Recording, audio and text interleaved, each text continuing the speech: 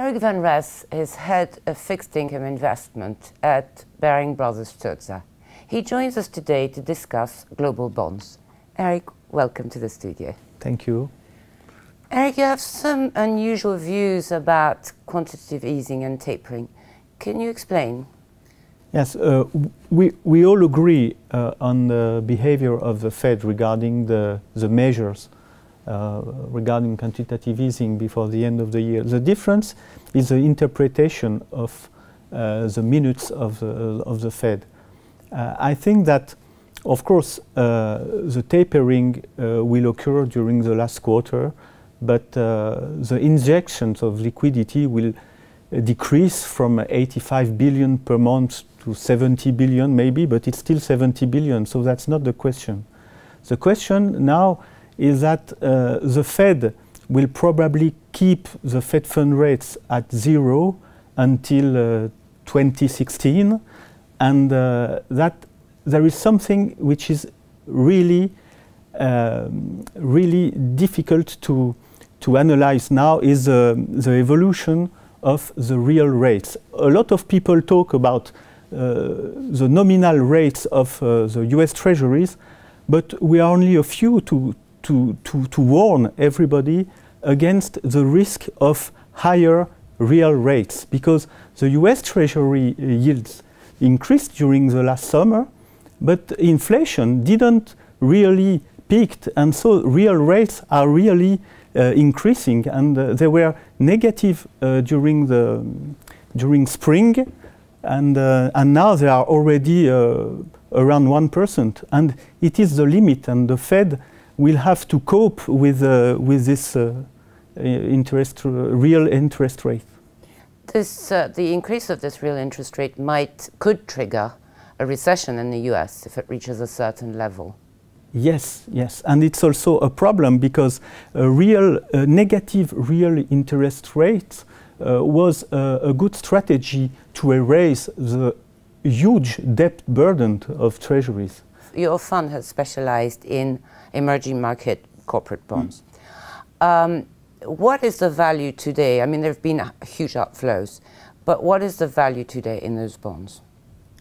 Yes, there, there, there has been a, a, a huge sell-off uh, in June after uh, the first uh, the first talks of the Fed about the tapering. Uh, but it has been too far. And now emerging markets are under pressure. Uh, the yields of uh, many emerging market bonds are already very high, between 6, 7 and 7.5%. And I think that now there is value in these bonds. And uh, a lot of investors are already looking at these bonds in order to, to buy this, this asset class. They don't, we don't want and they don't want to buy emerging market equities. Bonds are a better solution because when you buy emerging market equities, you usually buy uh, companies that are government owned, such as Pemex in Mexico, Petrobras in Brazil, or Gazprom uh, in Russia. And you have against you a major shareholder, which is uh, the government.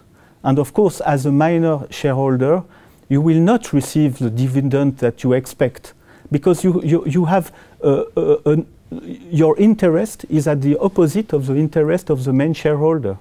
Yes. On the other hand, if you buy a Petrobras bond now, you can reach a yield of six, six and a half percent, and it's already good because it's higher than inflation, it's higher than US treasuries, and if you keep the bond, you have the carry, and that's what you wanted to have. But you may have duration issues. How do you deal with that?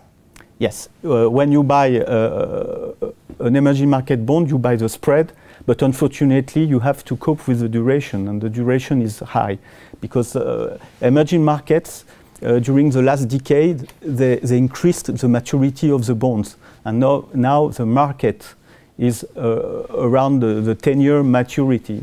So uh, we decided to, to hedge the duration of the bonds, and it's very easy. You, you sell 10-year US Treasury futures on the Chicago Board of Trade, and each time you buy a, a bond with a 10-year maturity, you short the US Treasury future against it to, in order to hedge its duration. So you have the spread, and you, you hedge the duration.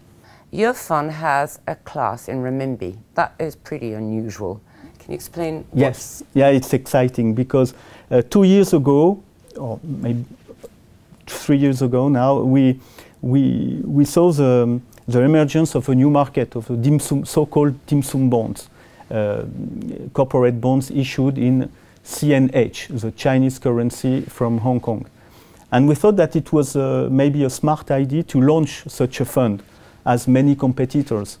But we realized that it was, uh, it was not a good idea because the market was too young, there was no liquidity, it was only a few issuers, and the spreads were very tight because there was a, lo a lot of buyers and uh, not so many issuers. So we decided to give up and we said, it's, the idea is good, but it's too early. So maybe in five, ten years, we will launch this kind of, of bond fund. We, we thought that it was a, a, a, good idea to launch a renminbi share class of this US dollar bond fund. Because the fund is in US dollars and you buy the bonds in US dollars, so you have the liquidity that you want. You, wa you have all the major issuers. You have the most liquid bond fund around the world, US uh, corporate bonds denominated in US dollars.